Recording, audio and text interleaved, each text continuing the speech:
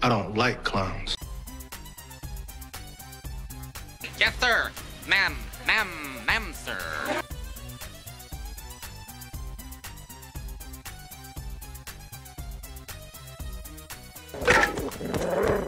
Nice doggy.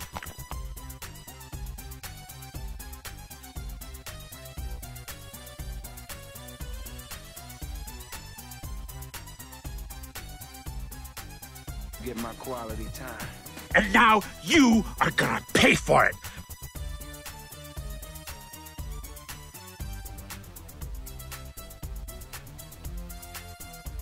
Wait, Logan.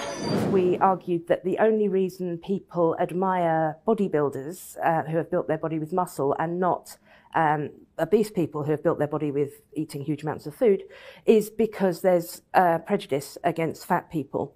And so bodybuilding could benefit from including the non competitive um, display of fat bodies alongside muscular ones. Fatty. It is a messed up world.